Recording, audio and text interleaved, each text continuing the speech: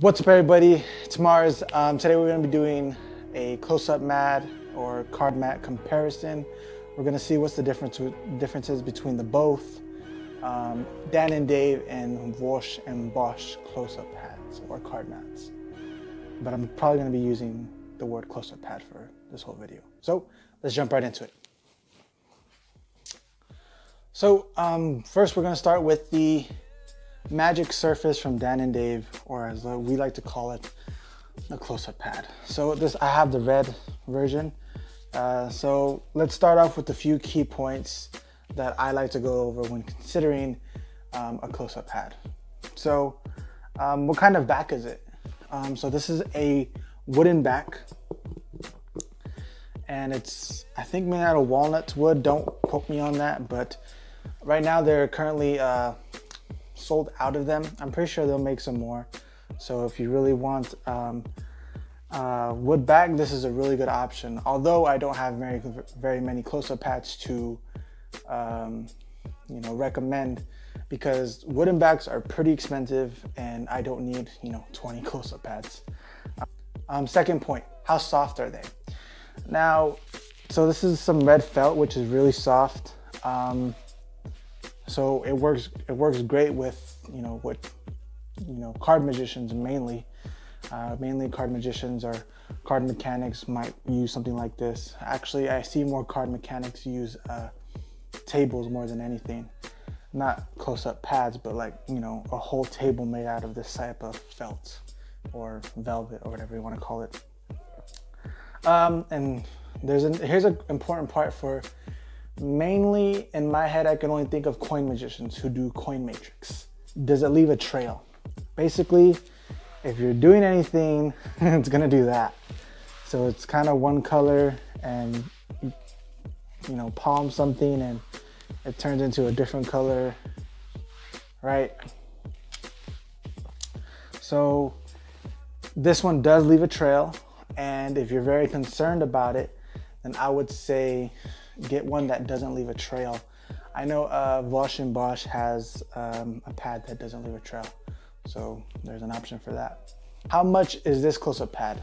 Is it worth the price? The price is, I believe, 345. Um, you know what? I'll put up the price right here because I don't know it off the top of my head. Um, so yeah, that's the price. Either way, I think it came out to um, around $400 for this uh, Dan and Dave Magic Surface or close-up pad. Um, how much cushion does it have? Now, I don't know if cushion matters.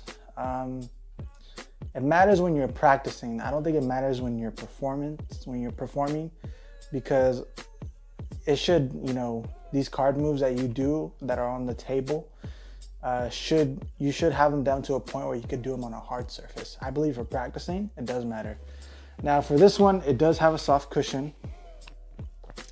You know, um, not not really cushiony, but just there's a little give, just enough give. I'd say it's like almost perfect, um, just the perfect amount of give. Um, another thing, do colors matter? Um, I believe no, they really don't matter. I mean, it depends. It's all. This one's on uh, preference, and uh, you know, it's whatever your style is or whatever you're trying to create. Although for me, I like to get cards that pop. So this is a red um, close-up pad. So I'd want to use something like uh, some black cards or some like purple, like something that's just gonna pop from this. Some white backs, some blue backs you could use red with these, but I prefer to have something that pops. Um, like um, the Black Lions.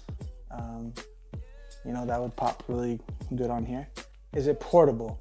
Someone who is a working magician might want to consider is it portable or not. These, uh, this one that I have here, I would not recommend for portability.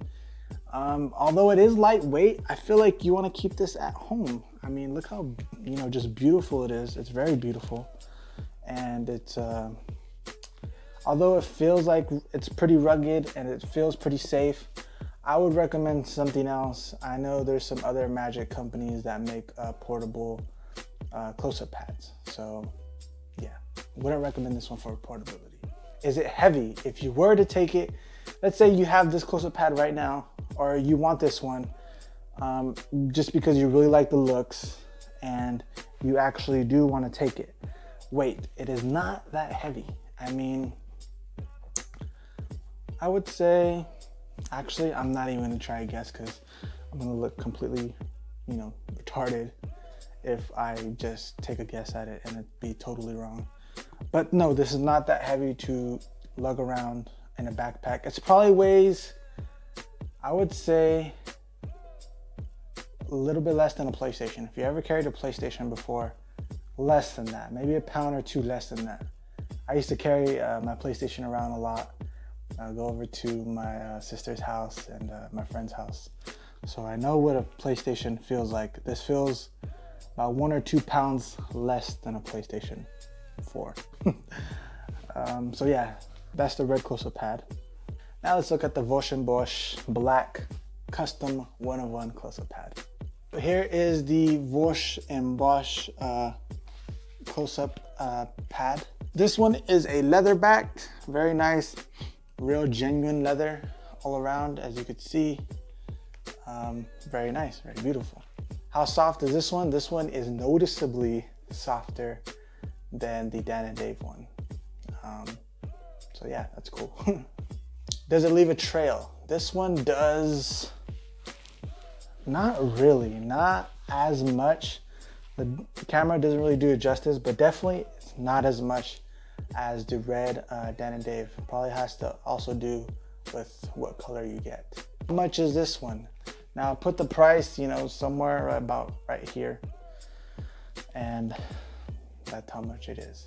now this one does have softer cushion, meaning it has more give to it, which I don't know if it's a good thing or bad thing. I mean, it's it's nicer to have more cushion, I guess. I mean, depends on what you're doing. I can't really think of anything that needs more cushion. So yeah, this one has more cushion. And this one, the color, um, I'm more, if you can't tell already from what I'm wearing, I'm more, my wardrobe is like, I like to wear black with a hint of red, with like red accents, um, but mainly black. And this one, I got with black. Um, love it, really love it. I got um, some custom stuff on it done, um, which is uh, rarely noticeable, which I like. I like the little subtle details and um, it's personal, it's one of one. Also with the colors, you could probably do some uh, some black art if you know what that is. I think that's what it's called. Um, yeah. Is it portable? This one does, uh, if you get the deluxe version, this one is heavier, although you could, uh, they have a stand that you could make with these feet that turns this whole close-up pad into a table and that is portable. It has like a stand with wheels and a uh, portable bag that you could put it in and all kinds of stuff. So um, yes and no. The pad by itself, I would say no. If you were gonna travel with this one or the Dan and Dave one, I would recommend the Magic Surface from Dan and Dave because it's much lighter. And that's the next, and the next segment is weight. So this one is about, I'd say like four, maybe five pounds heavier. This one is pretty hefty um, but it's also a lot wider. As you can see, it covers my whole face, covers the whole screen. And I, and if you want a custom, uh, a custom insert, it's going to cost $75 more. I got a custom insert, um, very cool. I, I, I really like it. I suggest if you really want a one of one and you want something to be really kind of unique and knowing that no one else will have it out there, um, I suggest you get a custom one if you really care about, you know, having a one of one. I do. I think it's really cool that uh, you could have a custom close-up pad. That's the main reason why I got another one. Once I found out that you could customize it, I said I want, you know, something that's more attached to me. Um, so yeah, let's do the outro. So that's it for today. Um, hope you enjoyed the comparison. Hope you enjoyed the review. Um, so hope you're all staying safe and sanitized. It's Mars. Peace.